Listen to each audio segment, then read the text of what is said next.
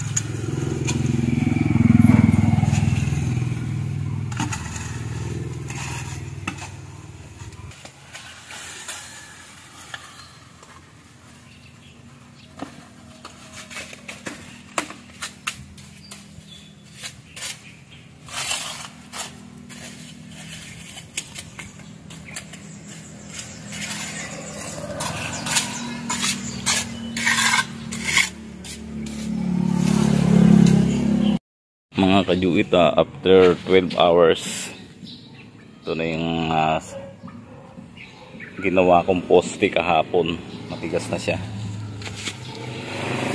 Pwede nang ikabit mamaya.